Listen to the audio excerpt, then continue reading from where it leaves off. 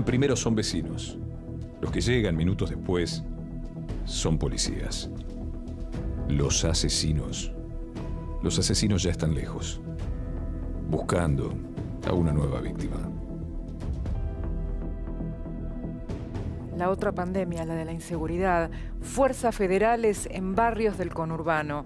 Una vez más, los operativos desde adentro y las sensaciones de los vecinos. Adelanto. Ahora comenzamos todo en una cuadrícula de este barrio, en las periferias, realizando controles vehiculares y poblacional y bueno, brindando seguridad al barrio. Necesidades básicas, historias urgentes. Esta imagen es el símbolo de una nueva crónica de la Argentina profunda. En un ratito, el país que espera. Esperar la comida otro informe de Guillermo Paniza. Hola, muy buenas noches y como siempre, bienvenidos a Telefe Noticias. Buenas noches, país. Gracias por estar ahí. Acá, nuestros títulos. Estamos muy lejos de resolver el problema. El presidente Alberto Fernández y una nueva advertencia en medio de la ola de contagios. Aseguró que Buenos Aires contagia al resto del país. Los delincuentes, como monos, esperaron que pasara una pareja y se descolgaron desde un poste para atacarlos desde atrás. El video completo de un asalto que desafía la capacidad de asombro. Hot Sale en cuarentena, récord de usuarios buscando ofertas, el ranking de los productos más buscados y las curiosidades. Con Virginia Porcela. Dolor por la muerte de la Floppy. Comenzó como asistente de Lizzie Tagliani y se convirtió en una compañera inseparable. Se había contagiado de coronavirus, pero lo peor estaba por venir. Murió la Floppy en minutos. El señor Daniel Rollano. Qué presentación, ¿eh? Epa, los rumores hablan de que estamos justamente a horas, lo dijo él, del día más frío del año. Miércoles bajo cero. En un ratito, ahí está preparado, ¿eh? Termómetro en mano.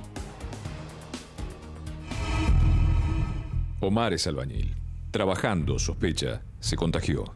Trabajar, está seguro, es lo que desea poder volver a hacer.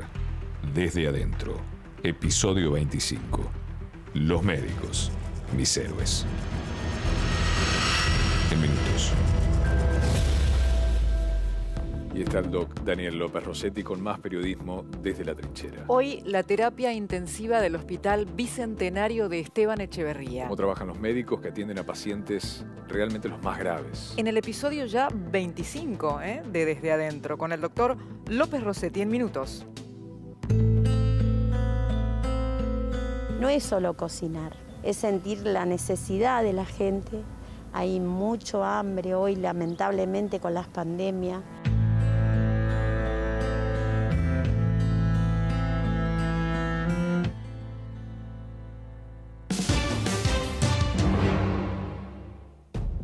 Él es la víctima. Apenas, apenas una semana llevaba a Fernando trabajando como repartidor. 28 años tenía estaba manejando esta camioneta cuando lo sorprendieron los delincuentes en Adrogué. No se sabe muy bien si intentó resistirse, se hizo un mal movimiento. Lo cierto es que le dispararon. Así quedó para luego finalmente morir por ese balazo.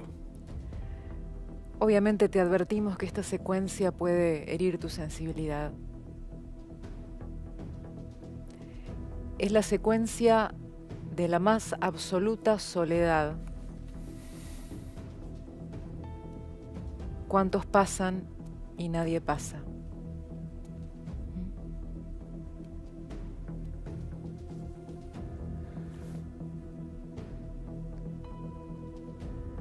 Cargado de sueños,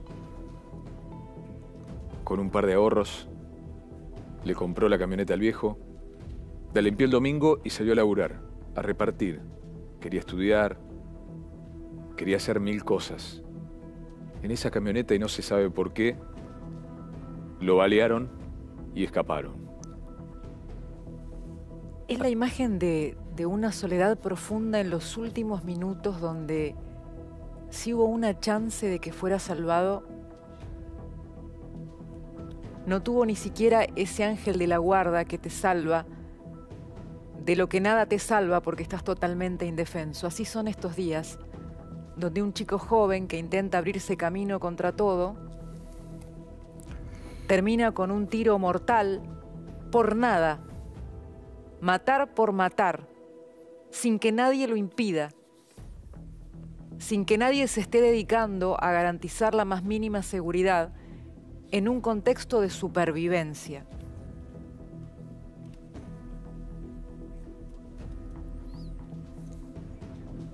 Llegar tarde para él fue nunca. Llegaron demasiado tarde, a él le costó la vida.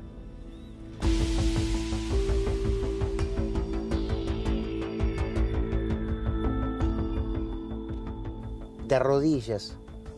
Así estuvo Fernando hasta que los vecinos lo vieron.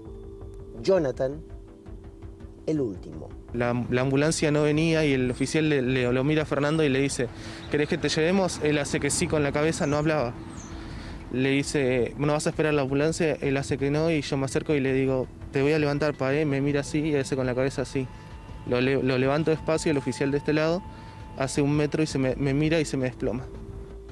De rodillas se fue, pero vivía de pie, trabajaba como repartidor, estaba por estas calles de Adrogué buscando una dirección, un tiro. No hubo más. Y dicen que los ladrones no se llevaron nada, se equivocan. Se lo llevaron a él. Eh, la mujer policía le, le, hace abrir la campera, abre y él le señala donde, había, donde le habían impactado. Miguel fue otro de los que cargó a Fernando en un patrullero para no esperar la ambulancia. Habla de la confusión inicial por lo sucedido. Vi el patrullero, salgo y veo un, muchacho eh, en la calle eh, sentado y pensando que era un delincuente que la policía lo, había herido, pero eh, me acerco a otros vecinos y dice, no, no, no, lo, asaltaron y allá está la camioneta. Ahí me doy cuenta que hay una camioneta y bueno, me acerqué, le pregunté ¿Querés que, llame a alguien? ¿Querés que avise a alguien? Y no, no él no, no contestaba. Lo, ayudan con Jonathan y el oficial lo, cargan y se desploma. Bueno, lo meten en el patrullero y yo por la otra puerta me metí dentro del patrullero y lo ayudé a, cargar y se lo llevaron. Que una mala maniobra, que un gesto equivocado, que simplemente un disparo. Una moto azul dando vuelta, una F2 dando vuelta por acá. Eh, estaba buscando dársela a alguien, digamos. Acá el problema es que no hacen control, entonces las motos andan dando vuelta, no andan por la avenida, andan por las calles eh, aledañas.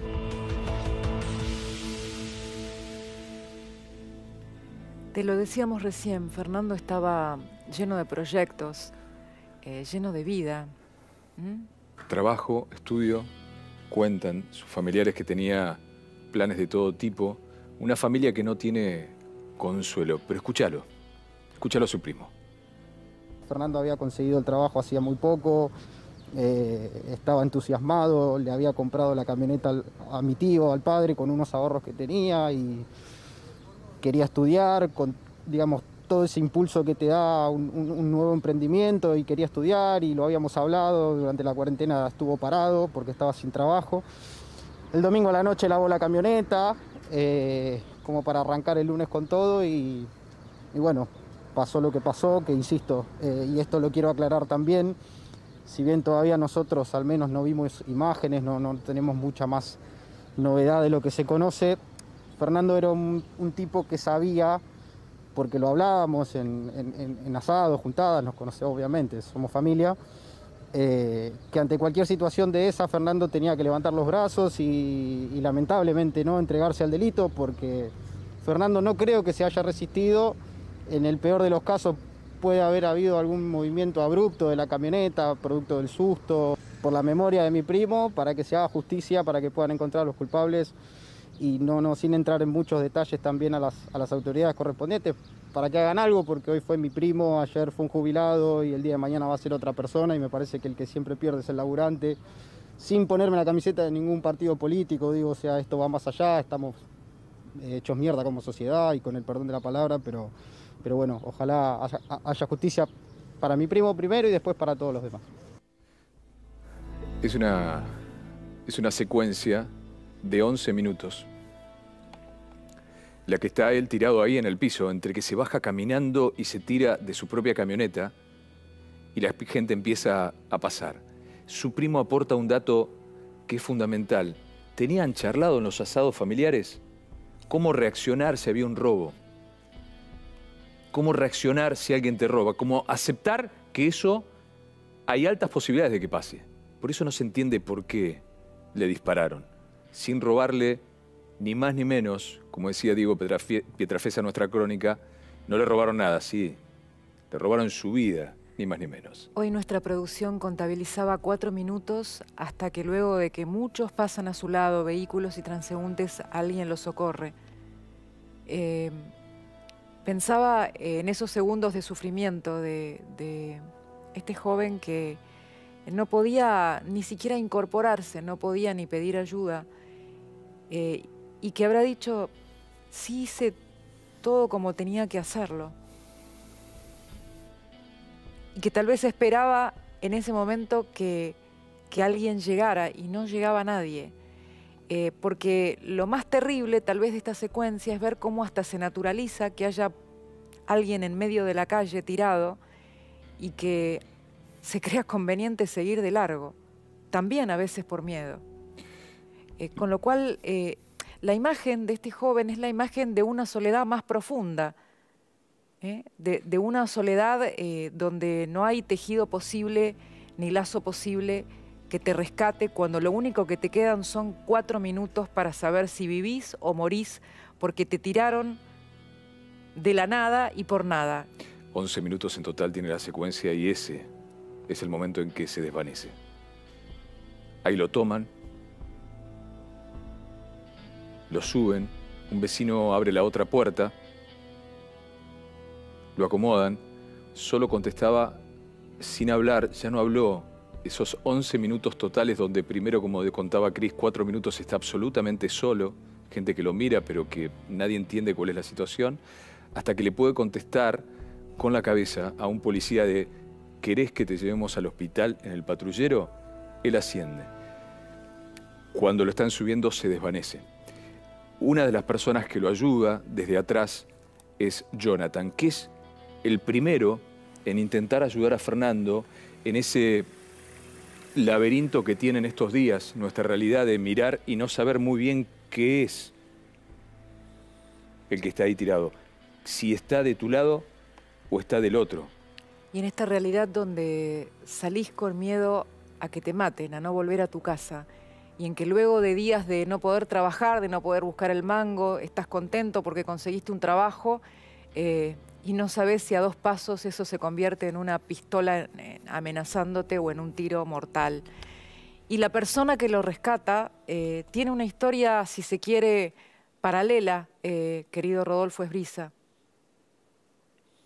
Así es, Cris Rodi, no puedo dejar de pensar en esta imagen de la que hablan ustedes de morir en la más absoluta soledad, ¿no? Porque Fernando venía por esta calle, Italia al 900, con su camioneta muy despacito, buscando una dirección para hacer una entrega, y justo en la puerta de la casa de Jonathan es que recibe el tiro. Jonathan, vos llegaste a escuchar esa detonación que te pareció otra cosa, ¿no? Sí, sí, perdón, perdón.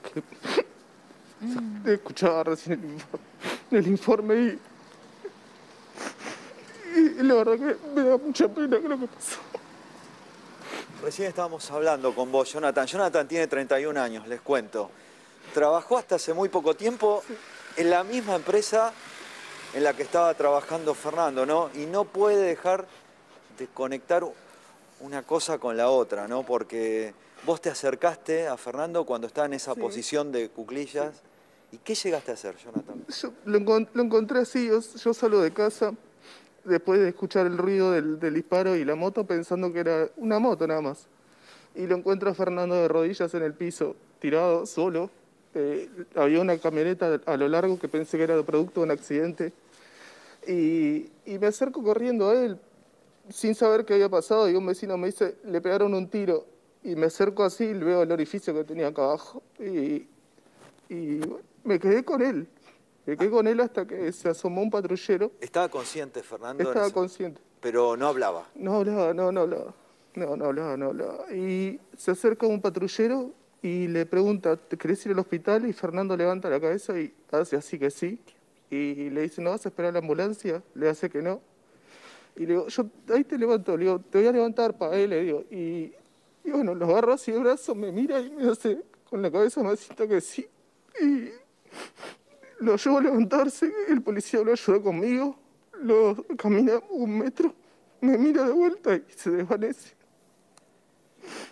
Y, te juro que, se viene eso a la cabeza y me pata al medio.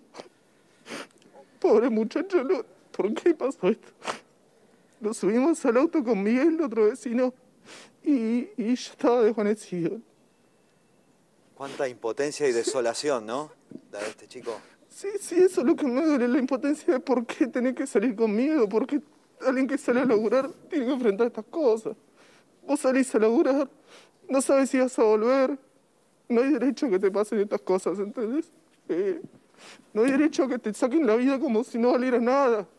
Cuando juzgan a un hombre que se defendió y cuando vos morís así como un perro, las imágenes, ¿cómo lo dejaban? Estaba solo ahí.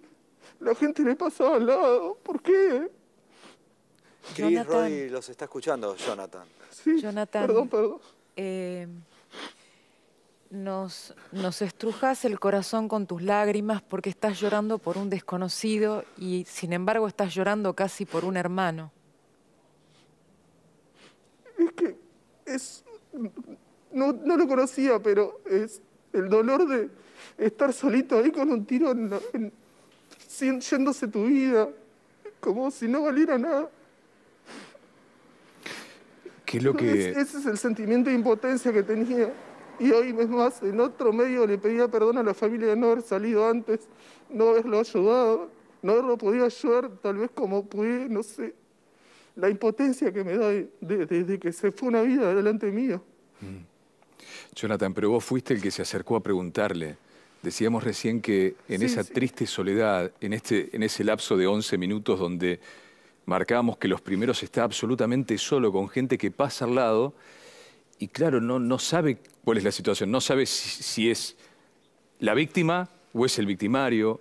Creo que es Miguel también el que le pregunta a un policía, che, ¿qué pasó? ¿Es un herido por la policía? No, no, no, es un pibe que es víctima. Y en ese contexto Sí, vos elegiste acercarte y preguntar. Ni más ni menos que eso. Yo salí corriendo desde casa. Yo salí corriendo desde casa pensando que lo habían atropellado porque la camioneta de él estaba cruzada, como ustedes saben, salió cuando él se baja, la camioneta siguió sola hasta que chocó Sí. contra un auto. Y pensé que había sido producto de un accidente y salí a socorrerlo. Y cuando me acerco y me dicen tiene un tiro, lo miro y tenía el tiro acá y me quedé al lado de él. No quería que se quede solo. Lo veía que no estaba bien y que no le iba a dejar ahí solo. Mira, Jonathan, yo no, no, no creo que pueda servir de mucho consuelo, pero pensá que probablemente fuiste el último, el último momento de calor humano y de amor que recibió ese chico, porque si no hubiera sido por vos, hubiera sido realmente ese final de total soledad.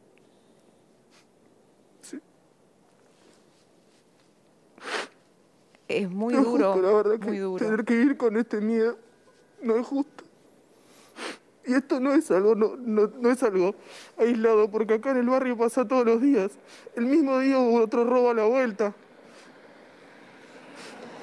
Y que Y aparte por ahí todos los días y todos los días son motochorros. Y que aparte por ahí también te viste de alguna manera vos reflejado en su propia historia, de salir a buscar la vida, de salir a luchar. Y que hacían un Sí, poco lo mismo los tengo, hermano, tengo un hermano que tiene su edad. Mirá, Vos laburabas de lo Aparte, mismo, la- la imagen- yo, yo trabajaba para la empresa, digamos, para la misma empresa. Libre. ¿Hacías el mismo laburo o hacías otro? No, trabajaba armando los paquetes que él llevaba. ¿O pudiste comunicarte porque él no hacía mucho que estaba ahí? ¿Te llamó alguien, algún ex compañero, alguien que lo conociera? No, no, no, no, no, nada, porque yo me quedé sin trabajo por el tema de la pandemia. o sea, vos perdiste el trabajo ahora también. Sí, sí, sí, sí, yo estaba sin trabajo. Actualmente, por ejemplo, Es lo que decía hoy. Fernando se buscó un trabajo después de tantos días. Mm. Yo, por ejemplo, estoy estudiando para ser profesor, doy clases online de apoyo a chicos de primaria y secundaria. Una persona de bien busca la manera de conseguir laburo, aunque sean dos monedas. No salís a robar. Eso, eso, eso no lo hace una persona de bien. Estamos de acuerdo. No, no, no busca hacer estas cosas. Estamos de acuerdo, ya. Em, Y después, lo, ¿sabes lo, tri- lo triste de esto? Es que después somos una estadística nada más. Somos un número más en una pizarra, un muerto más en una estadística.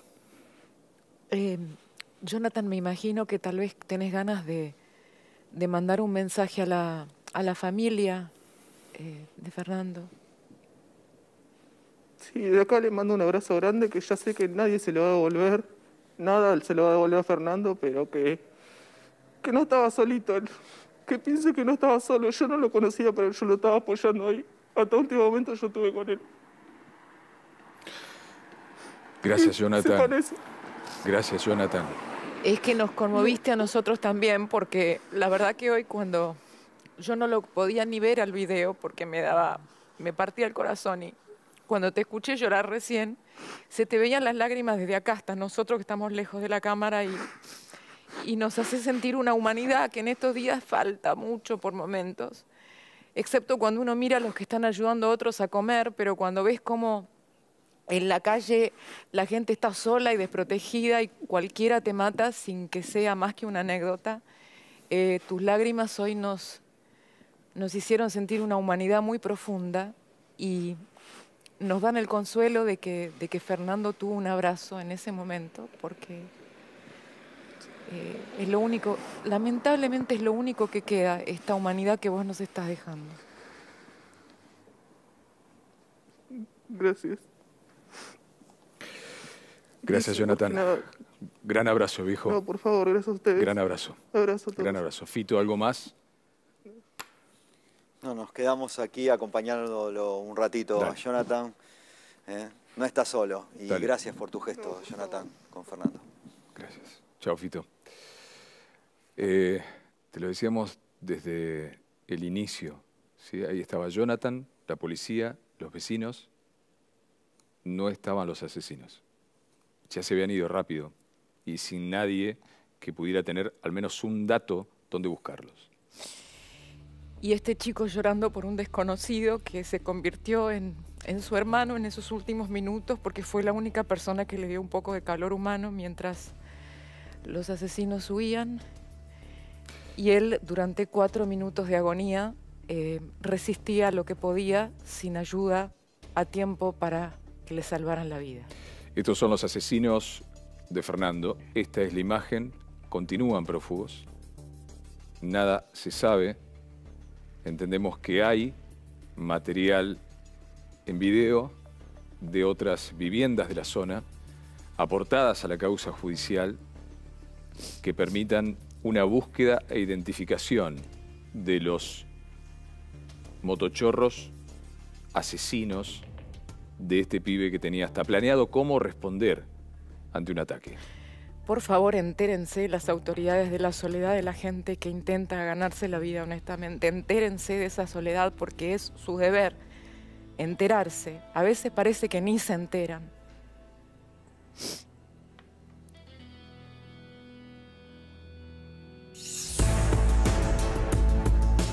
Ahora comenzamos todo en una cuadrícula de este barrio, en las periferias, realizando controles vehiculares y poblacional y bueno, brindando seguridad al barrio.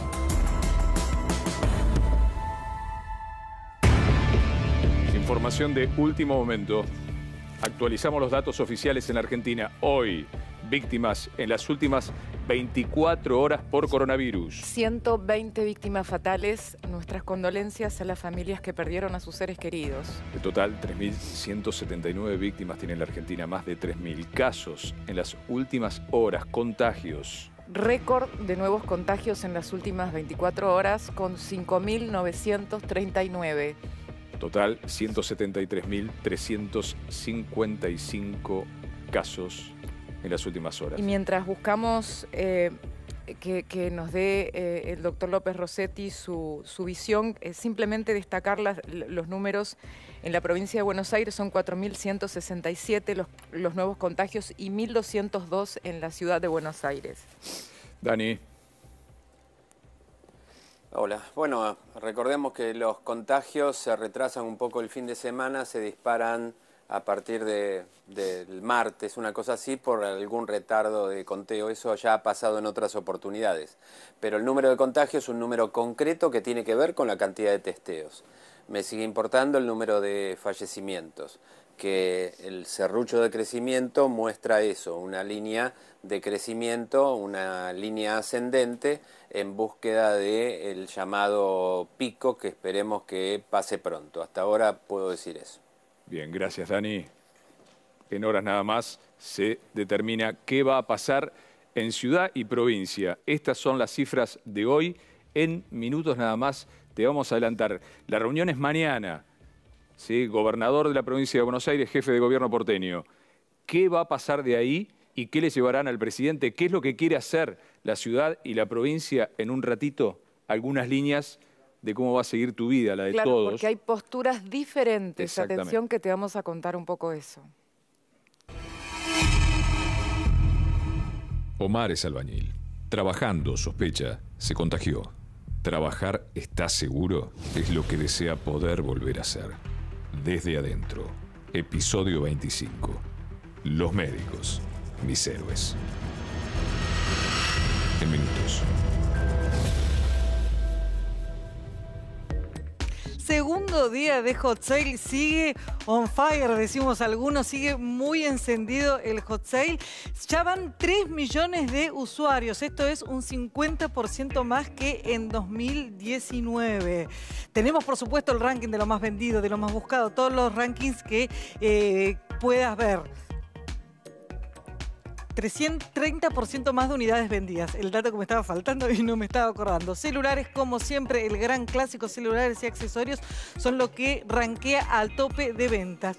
Número dos, esto sorprende un poco porque siempre el calzado fue muy buscado y muy vendido en estas ediciones, pero la indumentaria femenina esta vez desplazó a todo el resto de los productos. Te recordábamos que buscaban heladeras, buscaban notebooks, bueno, celulares y indumentaria femenina, ropita para nosotras, es lo que más se busca en el hot sale en esta edición. Bien, gracias, Vir. A ver, en una realidad para este lado de la Argentina realmente impensada todavía, los shoppings vuelven a abrir después de más de cuatro meses en la ciudad de Mar del Plata. Y presta atención porque el protocolo es estricto y solamente contempla las ventas que incluyen el formato galería. Exactamente, baños, patio de comida, juegos y cines deberán seguir esperando. Tantos días cerrados desde el 17 de marzo que estamos sin funcionar, así que bueno, con mucha expectativa con esta apertura en modo galería y bueno, esperando que, todo funcione normalmente y, de acuerdo a los protocolos que teníamos programados. No funcionan los cines, no funciona el entretenimiento para chicos, el patio de comidas tampoco está habilitado, los cafés, que son el arma del centro comercial, eh, tampoco la gente los puede utilizar por el, por el momento, la modalidad es únicamente delivery y takeaway, y tenemos un único punto de ingreso y egreso del shopping en donde podemos controlar la cantidad de gente. Tuvimos algunos negocios que tuvieron que cerrar definitivamente sus puertas, algunos negocios que iban a hacer las obras eh, las han tenido que posponer porque es una situación muy difícil. ¿Cuáles son las expectativas que tienen para la vuelta a la actividad? Nada, que dure y que sigamos, podamos seguir abiertos y nada, que se empiece a mover, a vender. Así que nada, esperando a ver cómo resulta todo esto también adaptándonos de a poco, a que por ahí que la máscara se empaña, que, pero bueno, intentando tomar todas las medidas ¿no? de prevención. Rarísimo, hacía cuatro meses que no venía y está todo raro.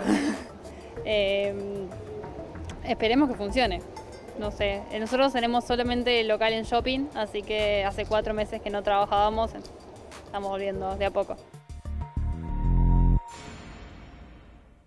entraderas, pirañas, motochorros. Es triste, pero ya es difícil sorprenderse. Claro, como que uno aprendió un nuevo diccionario también con eso. Hasta, eh. hasta ver este video. El ataque en Isidro Casanova, mira. Mirá lo que pasó. Son tres los delincuentes que esperan a sus víctimas. Pero no Mirá. se ve, no se ven. No. ¿Cómo? ¿Dónde? Trepados a un poste. Fíjate ahora. Por favor. Pasan las víctimas, se descuelgan de repente. Uno, dos, y ahí va el tercero. Y atacan al hombre que caminaba junto a su mamá. Insistimos. Se treparon, los esperaron, bajaron y los atacaron. Hemos visto de todos, de todo, ¿eh?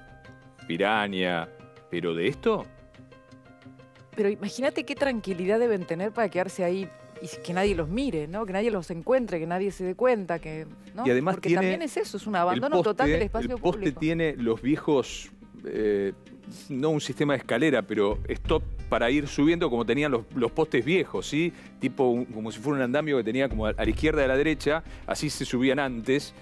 eh, en los viejos postes telefónicos, los viejos, los- bueno, lo utilizaron, ¿sí? Para subirse. Entonces subís Aparte, y bajás. Imagínate el impacto de estas dos personas que van mansamente por la Un con calle, con mamá. el, el señor con las manos ocupadas, eh, o sea, no puede hacer nada, la señora caminando un poco a paso más lento atrás y les caen dos personas de, de- de arriba, les caen del, del poste dos personas. Estamos ahí, Germán. Germán Condoto. Claro, la realidad es que en este barrio están acostumbrados a que uno le salga detrás de un auto, detrás de, de un árbol, que aparezca una moto y le arrebaten la cartera, pero nunca que le salgan desde arriba de un poste y le caigan de esta manera como cayeron. Este es el poste en cuestión. Estamos en la calle Madrid, a una cuadra de la calle principal de Isidro Casanova y a dos de la comisaría central acá de Casanova. Por acá subieron los tres delincuentes. ¿Con qué intención en principio? Robar en el departamento del primer piso. Como no lo pudieron hacer, fueron por el plan B. Esta mujer y su hijo, que estaban yendo a su casa, unos metros antes de llegar, dice que escuchan unas voces, no veían de dónde salían las voces, siguieron caminando y de repente se encuentran con los delincuentes que los tenían atrás. El hombre, como trabaja en una fuerza de seguridad, dio la voz de alto y así los delincuentes se escaparon y no pudieron robar nada, pero la mujer se quedó aterrorizada adentro de su casa y todavía de hecho no pudo salir. ¿Qué hicieron los vecinos? El escalador que estaba acá para llegar hasta la cima, en donde los técnicos reparan por lo general los cables, lo sacaron para que no vuelva a pasar. Vos sos el encargado de haber sacado eh, los peldaños, ¿no? Con los que subieron los delincuentes. Sí. Lo saqué el mismo día a la noche. Me subí hasta allá arriba, con una llave lo saqué. Mientras que estaba subido ahí arriba, mi viejo estaba al lado, mi hijo, pasó un patrullero y siguió. No paró ni siquiera a preguntarme qué estaba haciendo el poste de luz. Ni siquiera se preocuparon por si eras un vecino, un delincuente, nada. Eh, nada, así como pasaron siquiera. Ahora, son muchos los hechos que se van acumulando en el barrio. A vos, por ejemplo, te robaron una Sí, bicicleta en pleno robaron, día. Sí, en pleno día. En 10 y media, 11 de la mañana nos robaron la bicicleta. Eh, por las cámaras nos dimos cuenta que era un vendedor ambulante, le vendió a toda la cuadra, yo iba a dos cuadras, le vendió las bolsitas a todos. Se tomó siete minutos, porque lo vimos, siete minutos parado en la vereda del frente, cuando vio más o menos cómo poder forzar el portón, entró al portón, se dirigió hasta adentro y me robó la bici, se fue muy lindo para allá también. Bueno, Lo que la te pasó a vos, Adriana, no te lo olvidás en tu vida. Contame, ¿entraron cuántas personas y cómo fue la situación con tu hija? Ingresaron tres delincuentes a mi vivienda, Eh, los tres armados. Uno, el más, el más malo, se quedó, me tuvo los golpes en el comedor, me preguntó si yo estaba sola, le dije que no, que estaba con mi hija, y me preguntó insistentemente, ¿qué edad tiene, qué edad tiene tu hija? Le dije, 15 años. Entonces, en ese momento hizo pasar a dos que directamente se fueron a la habitación donde estaba mi hija. Vos ahí pensaste lo peor. Yo pensé lo peor, le dije por favor no la toquen. Eh, mi hija es discapacitada. Yo no la podía ver porque me tenía, este que me tenía los golpes me tenía en el comedor y ella y los otros dos estaban con ella en el- la habitación. En un momento me dijo que quería el dinero, que si tenía, le dije que sí, le dije está en la habitación de mi hija. Entonces me dijo anda, no. Entonces me agarró del cabello, me llevó a los golpes hasta la habitación y, y en ese momento yo la vi a Catalina. La vi que estaba dura, Yo pienso, le digo la verdad, pienso que la salvó, la salvó los rasgos. Por su síndrome de Down le salvó los rasgos, porque ellos se quedaron duros mirándola y uno le dijo, vámonos, vámonos. Y de ese momento cambió mi vida, cambió mi vida, renuncié a mi trabajo. Eh, me salvaron los vecinos, los vecinos porque yo tenía a cerrar la puerta del comedor, abrí la del balcón, pedí ayuda a mis vecinos que fueron los primeros que estuvieron. Y gracias a ellos. Gracias a ellos. Hoy la podés contar y puedo contarlo. Te agradezco muchísimo, Adriana. La idea es que estos casos no se repitan, entonces los vecinos decidieron salir a las calles con estos carteles, basta de inseguridad, más policías eh, y otros eh, que dicen, por ejemplo, justicia y seguridad. ¿Hay patrulleros? Sí, ahora casualmente cuando empezamos a salir del- eh, al aire empezaron a circular motos y distintos patrulleros que los vecinos dicen no verlos habitualmente en la zona. La idea es que estén cuando se necesitan. Ese es el reclamo de todos los vecinos de Isidro Casanova. Claro, claro, Germán, ese es el punto, no cuando se prenden las cámaras, pero aparte, ¿cuántas veces escuchamos esta semana me salvaron mis vecinos? Mm, mm. ¿No? La gente se salva entre sí. Pensaba, solo para advertirle, ¿de qué empresa es? ¿Es telefónico? ¿Es el viejo cable telefónico o el de electricidad? Digo, porque esta No, misma es modalidad cable, se puede repetir en, en un montón. Es del cable. Es del cable, pero hay varios postes del cable que tienen todavía los escaladores. Claro, bueno, porque, el Porque cable los necesita, técnicos, por lo general, cuando reconectás y conectás, subirte. Y va a haber que pedirle a las Claro, empresas de fíjate que cable la- la que saquen los escaladores. Es absurdo, digo. También no- se no pedir que descansa- pasen los patrulleros Por antes, eso, no Porque a esta descansa altura la- vamos a, no sé... Sí, pero estás siempre, siempre, siempre estás corriendo detrás. Y la ausencia de seguridad es eso. Que se defiendan como pueden entre vecinos. Gracias, Germán. Hasta luego.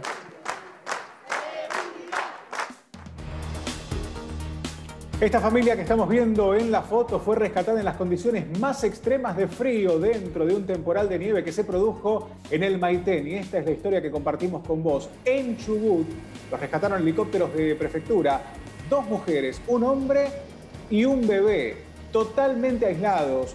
Viajaron de prefectura desde Comodoro Rivadavia hasta el Maitén y de ahí del Maitén lo llevaron a Cuyamén, otra localidad que después quedó aislada, pero en Cuyamén lo pudieron atender los médicos. Estamos hablando de un rescate extremo en condiciones de frío, pero además en condiciones de viento, donde es muy difícil poder dominar un helicóptero. La maniobra de prefectura pudo rescatar a esta familia que finalmente, además del rescate, se aprovechó este helicóptero para llevar víveres a Cuyamén, al Tropezón y también a otros puntos que están aislados en este momento.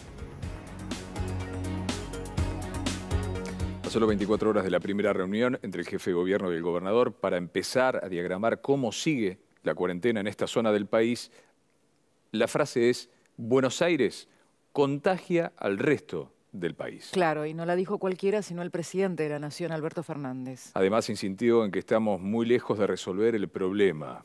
También pidió no relajarse, aunque se esté flexibilizando la cuarentena. Recordemos ahora, en cuestión de días, de horas, se empieza a definir cómo sigue la cuarentena. Y lo que estamos viendo es que hay un foco en el área metropolitana de Buenos Aires que irradia contagio al resto del país. Y que nosotros no podemos estar desatentos a eso. Y que por eso a veces se enojan con nosotros. Pero en verdad lo único que estamos cuidando es que no se contagien, no se enfermen, no padezcan. Y que entendamos que estamos muy lejos de resolver el problema.